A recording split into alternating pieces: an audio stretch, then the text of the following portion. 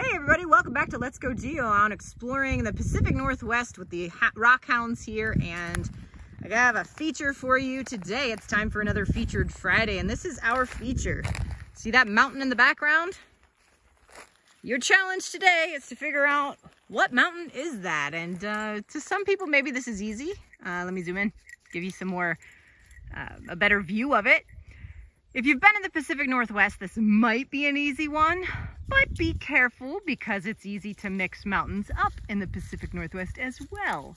Um, the, I guess the, your first hint is that it is the in the Pacific Northwest of the United States. I am in America uh, making this video. And yeah, I'm just touring around, checking out all kinds of cool features, geologic features, so many great things to see and explore in this part. Um, and this view is phenomenal. Uh, videos sometimes don't do views, landscape views justice. That thing has, you know, what appears, it's a mountain. appears to have some amazing prominence. It appears to look huge on the skyline. Um, and it's even more incredible in person, I can tell you that. Uh, so, I hopefully I've given you enough time so far to conjure up a guess. Let me make sure I give you the best view. I'm kind of on the side of a hill here, so bear with me. Um, but let me walk up here, give you the best view. Those of you that know certain mountains in the Pacific Northwest, that view might help you out there. There are definitely some prominent features to see. So, um, as you throw your guess down in the comments. Again, what we do here is uh, you throw your guess down and then you can watch the end of the video and see if your guess was correct or you can learn something new today. Um, so while you're doing that, I'll continue to blab about what we're looking at here. So you see that appears to have a lot of snow on that mountain, right?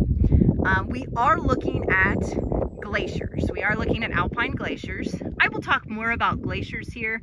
There is important differences, but there are important differences between uh, glaciers when we're talking about alpine glaciers or glaciers on mountains versus continental glaciers, things like that. Um, I'll go into those details later, but yeah, we are looking at over 20 glaciers. So all that ice and snow, you see all that white and that albedo we see, yeah, that's definitely some glaciers there on that mountain.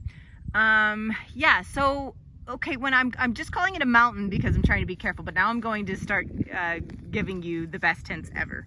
So that is not just any mountain, that is a volcano.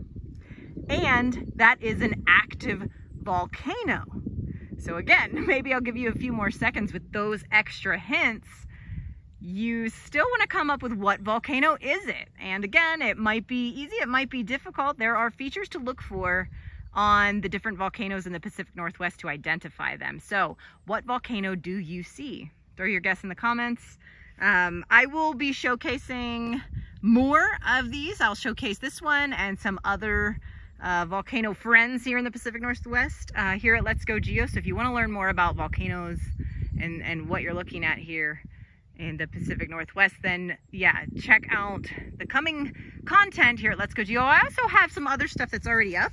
Um, I did a full-length video actually on this mountain, on this volcano, um, not too long ago. So if you've been joining along on the adventures, then you that might be the next hint because there's only so many up so far.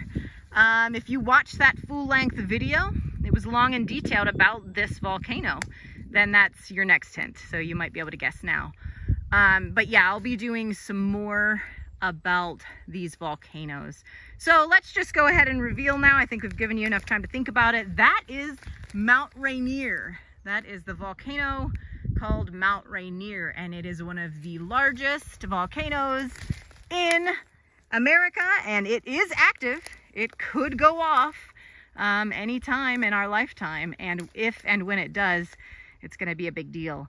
Um, if you've seen some of the stuff I've talked about with Mount St. Helens, when Mount St. Helens erupted in 1980, it, uh, you know, we have ash, we have pyroclastic, stuff like that. Um, but it was the lahars that really maybe surprised people because lahars, or think of them as mudslides, all of that debris becomes a slurry and towers down the side of these volcanoes.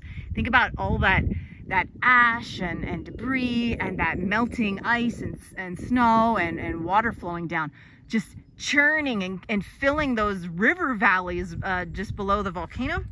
That is scary stuff. So um, the lahars are one of the biggest risks. And when what geologists have seen in the past that Mount Rainier, uh, we can actually see in the geologic formations evidence of uh, historic lahars and they, they stretch really far from the volcano.